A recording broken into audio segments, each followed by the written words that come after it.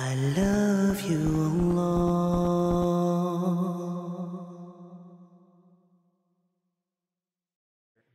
You know, shaitan wants that you worry about the future. That you just keep worrying. What's my son gonna do? Is he gonna rebel? What's my daughter gonna do? What's my husband gonna do? What's my wife gonna do? And you keep worrying about other people and what they're gonna do and how they're gonna feel. Like you're in charge of them or you're in control of them. We're barely in control of ourselves. But we think we can control what everybody else around us is going to do and what their future is going to be, and we want to control their future. You'll have a mother dying every day. Why isn't my daughter who's married, why isn't she having a baby? When is she going to have a baby? When is she going to have a baby? And she's calling her and saying, You know, Allah wants you to have a baby. Allah doesn't want her to have a baby, you want her to have a baby. I don't know what email you got from Allah that you told her. But this is in your mind, you just want these anxieties worldly, worldly things that you want is all you think about for the future. I don't have it, I don't have it, I just worry about it, I don't know why I don't have it, and you're just consumed by that, completely consumed by that. It could be the most innocent of things, but shaitan wants you to be that way because when you do that, you're not happy with what Allah has given you, number one. And you easily forget that the one in charge is Allah. And the one in control over everyone is Allah. I am actually not in charge of my children. Once they get to a certain age, what they do is between them and Allah. All I can be is an advice. That's all I can do. But their decisions are going to be theirs. If our Messenger وسلم, can turn to his daughter and say, Ya Fatima bint Muhammad, ittaqillah fa inni la amliku laki min Allahi shay'a. Fatima, daughter of Muhammad, be mindful of God yourself because I won't have any control when it comes to standing in front of Allah. I won't be able to help you. That's what he tells his own daughter. So how do you and I think we have control over others, even within our family?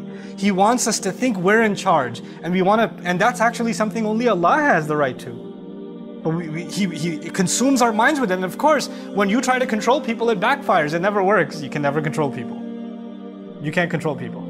And when you can't control people, you get even more anxious and you get, you know, negative constantly. And when you become negative constantly, it's impossible for you to be grateful. Look at how the ayah is going to end. وَلَا تَجِدُ أَكْثَرَهُمْ شَاكِرِينَ You're not going to find most of them grateful because they're going to be negative all the time. They're going to be anxious about the future all the time. What's going to happen to my job? What's going to happen with my money? Where's this going to come from? Where's that going to come from? What's going to happen to the health? What's going to happen to the kids? What's going to happen to this or that or the other? What if they find out? What if this happens? What if this one says this? What if that one does that? And you're just so overwhelmed by these petty things that you forget that Allah controls the future, that Allah owns it, not you, not me.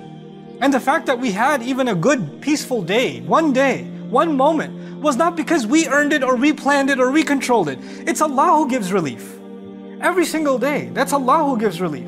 The fact that our bodies are still functioning and we're sitting here in the Friday prayer is Allah giving us relief, Allah giving us ability. And we forget that and we think that we have to figure all the future out.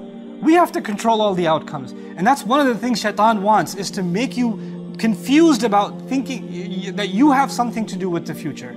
One of the greatest tricks of the shaitan is to make you pessimistic about the future. Nothing's going to work out. It's all going to be bad. Nothing ever worked anyway. It's always going to fail. You become so negative that you, not only are you negative about your own self, you become your negativity becomes infectious. Even people around you. Somebody's happy about something. Somebody graduated. You're like, yeah, but you're not really going to get a job.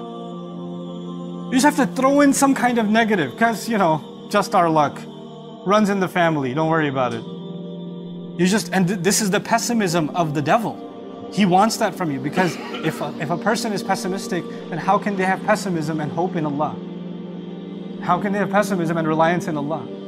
Then with what heart are they making dua to Allah? If they've already accepted defeat inside, then nothing's going to work out. Then they have no expectation from Allah. Then they're the most essential relationship we have with Allah, which is that of asking Him, having hope in Him. You cut that off you have you're hopeless. And what is shaitan by definition? He's hopeless.